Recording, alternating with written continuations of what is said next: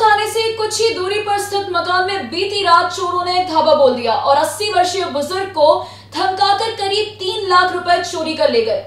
बीती रात मेहता की चाल निवासी संजय जैन के घर पर चोरों ने धावा बोल दिया और मकान में 80 वर्षीय बुज़ुर्ग को धमकाकर करीब तीन लाख रुपए की चोरी कर ली, जबकि फरियादी का मकान थाने से मात्र 500 मीटर की दूरी पर स्थित है। मौके पर महू एसडीओपी विनोद शर्मा व एफएसएल की टीम डॉग स्क्वाड के साथ जाँच करने पहुँची। बुज़ुर्ग नरोत्तम जैन के अनुसार दो लोग सरिया लेकर उनके घर में घुसे और जान से मारने की धमकी देकर तीन लाख रुपए चोरी कर फरार हो गए। पुलिस अब पूरे मामले की जाँच कर रही है। महू से जितेंद्र वर्मा की रिपोर्ट।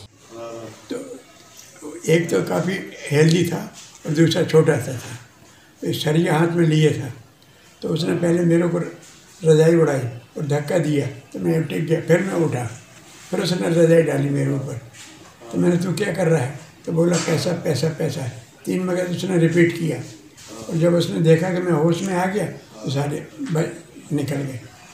कितने चोर थे दादा? दो थे।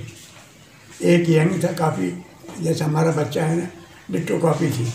और एक थोड़ा सा टिकना था। वो मेरे को बार बार सरिया दिखा रहा था सरिया से।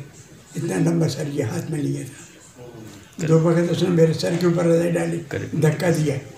फिर मैं उठ के बैठे फिर उसने रजाई डाली फिर धक्का दिया। तो मैंने उसको बोला "अरे तू क्या कर रहा है? तो उसने तीन बार रिपीट पैसा पैसा पैसा।